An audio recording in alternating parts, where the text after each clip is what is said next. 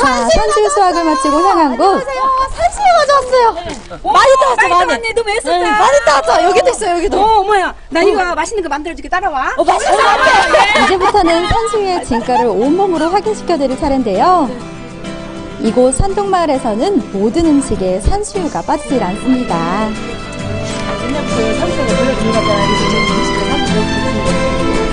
고기가 부드러워지고 참 색깔도 좋고 맛, 맛깔스러워요. 오, 그 육질이 부드러워요? 네, 네. 영육장이 있어요. 산수유가. 음, 들어갑니다.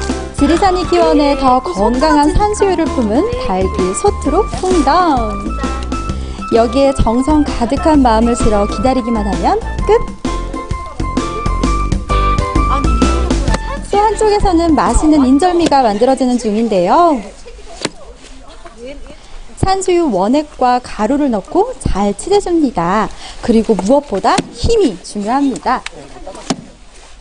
이야, 아버님은 어쩜 이렇게 힘이 좋으세요? 산수를 먹어서 그래요? 산수유 먹어서요? 아니, 아니, 제가 한번 쳐볼게요. 아니, 이거 무거울 것 같은데? 저 한번 쳐볼게요, 저.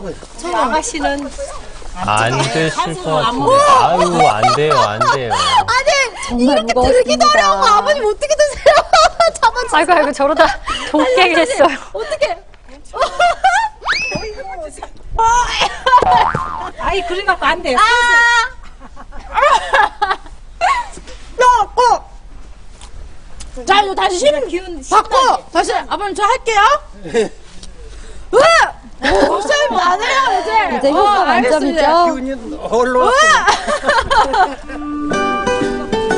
새콤달콤 산수유 맛이 어우러져 더 맛있는 산수유 인절미에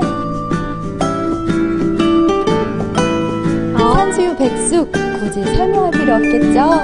저걸 먹어야 올겨울이 든든할 텐데. 말입니다. 그리고 눈으로 먼저 먹는 산수유 과자에 또 산수유 두부까지 건강한 맛이 살아 숨쉬는 이 계절 산수유 밥상이 푸짐하게 한 상 차려졌습니다.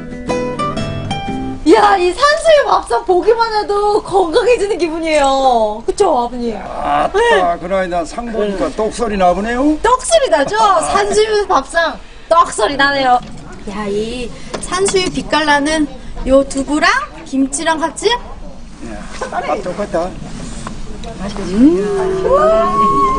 몸소리가 터지네.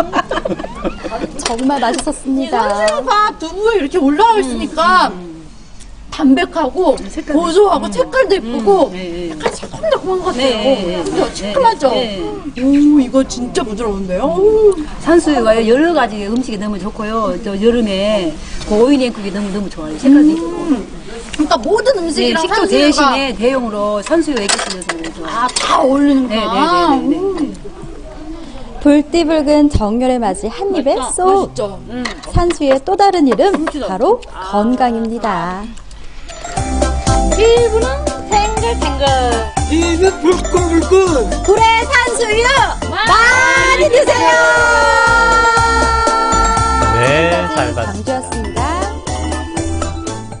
요때, 요때, 요때 산수유 인절미가 딱 들어와야 되는데 아무도 안 들어오네요. 그러니까요. 오늘 네, 가래떡도 참. 그렇고 인절미도 그렇고 참 올만한데 그러게 이렇게 아쉬울. 수가 없네요.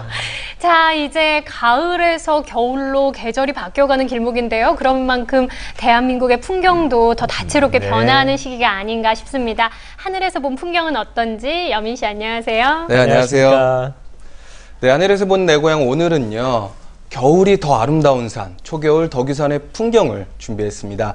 어, 쉽게 볼 수 없는 귀한 풍경을 만날 수 있는데요. 오늘 기대하셔도 좋습니다. 지금부터 전북 무주로 함께 출발하시죠. 신라와 백제의 경계, 라제 통문을 지나면 덕유산이 모습을 드러냅니다. 그곳에서 이른 겨울을 만납니다.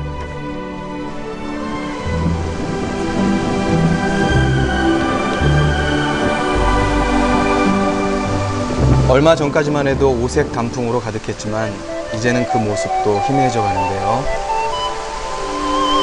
덕유산을 따라 흐르는 구천동 계곡에도 어느새 가을이 저뭅니다. 뭔가 약간 쓸쓸해지는 풍경인데요. 계곡을 거슬러 올라 산 정상에 다다르면